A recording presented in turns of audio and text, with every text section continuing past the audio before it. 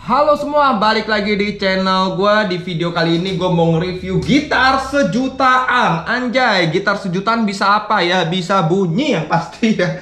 Kali ini gue mau review Semik Semik SS51 Anjay, dia punya satu pick up doang, humbucker. Satu knop, iyalah sejuta Lo mau kayak ngarepin kayak gimana? Kita coba review ya. Uh, gue juga belum tahu nih spesifikasinya apa. Kita cari sama-sama aja. SS51 specification. Oke. Okay. Spesifikasinya kita langsung googling aja. Oke. Okay. Mana mana mana mana mana. Oke, ini dia. Ada spesifikasinya. Ternyata ada juga spesifikasinya. Rosewood humbucker uh, bodinya nyato body nyato apa body nyato gue juga nggak tahu body nyato ya. Oke yang pasti ini gitar original. Semik udah nggak usah diragukan lagi semik. Oke lah. Uh, cuma ini sejutaan bre. Sejutaan kayak gimana bunyinya ya? Bodinya pakai body kayu nyato gue baru denger sih kayu nyato kayu apaan ya yang pasti saat gue terima gitar ini emang gitar sejutaan settingannya kacau. Kacau sekali harus di setup dulu sih. Uh, Lo lihat di belakang gue tambahin satu spring supaya bisa lebih maksimal. Jadi mau gimana pun uh, gitarnya kalau nggak bisa nyetingnya nggak berasa enaknya gitu. Mau gitar mahal pun kalau settingannya nggak dapet ya nggak ketemu. Makanya saat gua atau bang bong musik jual juga yang sejutaan. Kita juga udah setting gitu walaupun sejutaan kita setting sebenarnya agak males. Jual gitar sejutaan men. Setting gitar murah lebih susah daripada gitar yang mahal ya. Karena gitar mur murah ya aur-auran gitu. Harus di settingnya bener-bener capek coy. Tapi ya demi kalian kita sediakan gitar sejutaan dan sudah di set up di sini jadi kalau kalian dengar ini cukup lumayan mungkin karena kita udah setting juga. Jadi ya berasa lumayan lah. Oke, yuk kita langsung review. Uh, coba clean sound dulu ya. Gue pakai Valeton GP 200.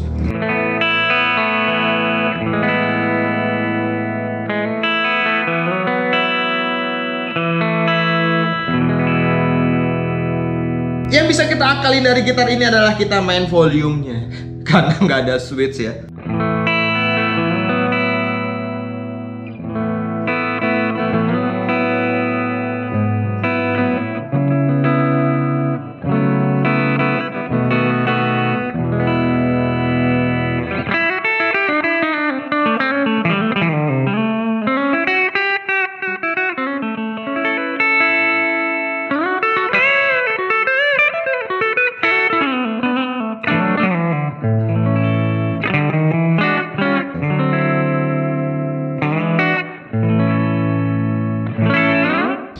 Yang menariknya dari gitar ini adalah walaupun cuma sejutaan, yang pasti dia original. Jadi uh, lebih baik beli yang sejutaan tapi original, apalagi lu beli yang sejutaan tapi gitar replika ya.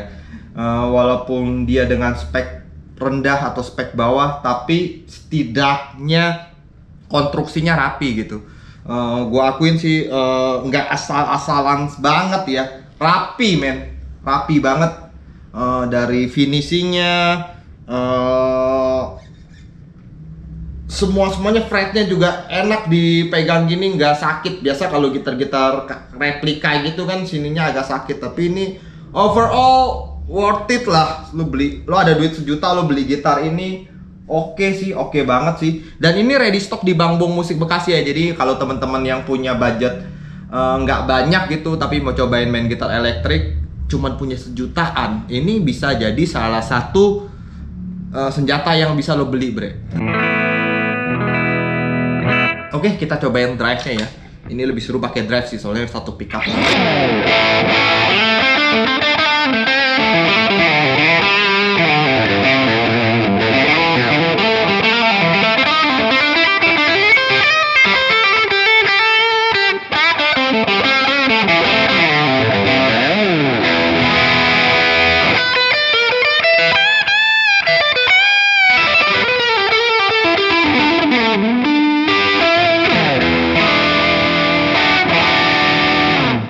Setidaknya waras bre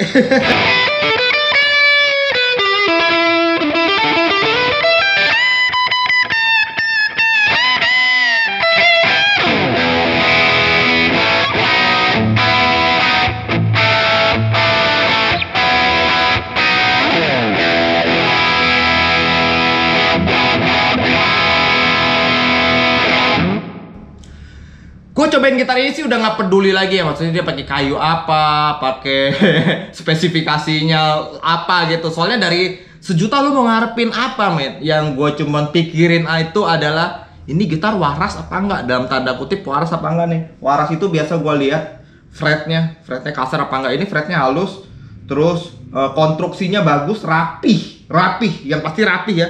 Dengan budget sejuta lo dapet gitar yang rapi kayak gini ya oke lah Oke sih playability-nya lumayan. Asal di settingnya bisa. Asal yang nyeting bisa lumayan sih lumayan sih. Layak dimainin. Dan udah di QC juga. Gua nggak peduli sih dia pakai eh, spesifik spesifikasi apa gua udah nggak peduli sih. Tapi overall masih layak lah sejuta ya kita kasih sound yang agak lebih kalem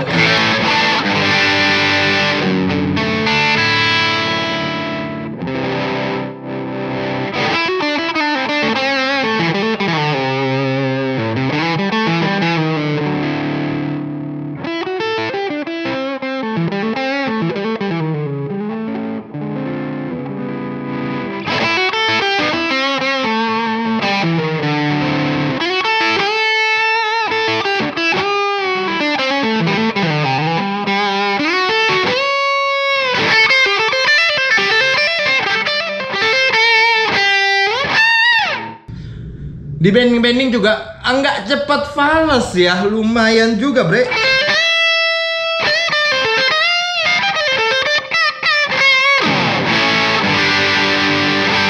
Masih terhitung oke lah. Cuman ngakalin main gitar ini kalau lo punya gitar ini ya atau lo beli gitar ini akalinnya kita lebih banyak mainin volumenya men supaya bisa dapetin eh, setidaknya sound-sound yang tidak itu itu aja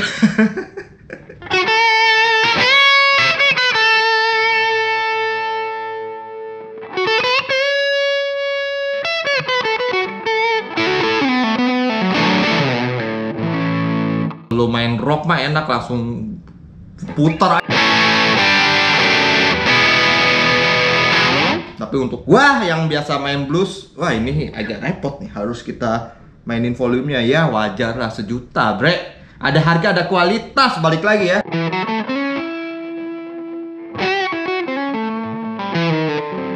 Tapi masih kenal lah ya.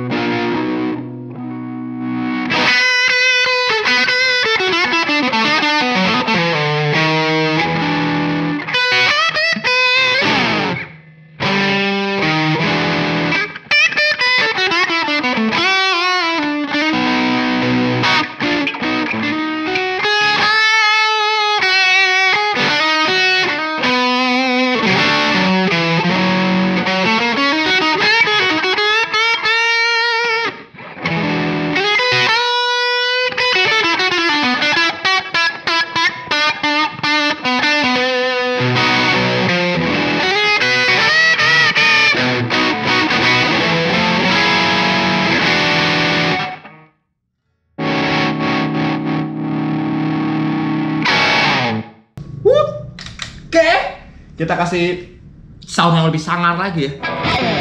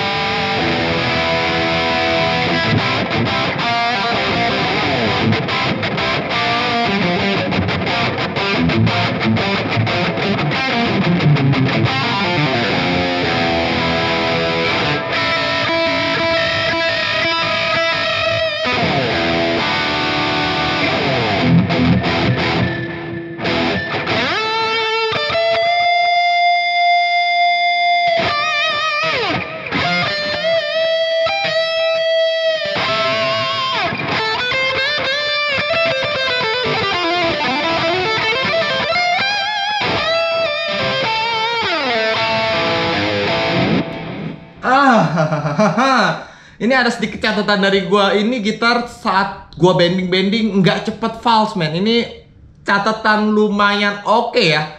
Untuk range harga sejuta, eh, kadang ada kita 2 jutaan yang merek ya terkemuka saja. Kita bending dikit langsung fals, bro. Ini cukup, cukup, cukup lumayan lah ya di bending-bending gitu masih nggak false. Ya karena gua setting juga ya tadi ya. Jadi saat lo dapetin ini yang pasti kekurangannya adalah eh tremolonya langsung ngangkat banget nih saat kita tuning standar. Jadi gua terpaksa gua kasih satu apa namanya spring buat ngakalinnya. Tapi overall dengan budget sejuta oke lah. Gila ya sejuta hari gini dapat apa? Kalau kita hitung-hitung lo beli tuning mesin aja atau bahasa anak-anak sekarang ngomongnya dryer aja udah minimal 200 ribu. Beli pickup minimal 200 ribu. Beli ginian minimal juga udah 200 ribuan. Jadi oke lah rapi rapi rapi dan so far good lah. Sejuta dua ratus ribu ya kalau nggak salah ya. Langsung aja yang minat langsung ke Instagram Bang Bong Musik Bekasi. Dia tersedia empat warna ada putih hitam merah dan warna ini ya yang ini birunya ya. Uh gokil juga ya. Jadi ada empat warna langsung aja yang mau sikat di Bang Bong Musik Bekasi. Alright thank you brother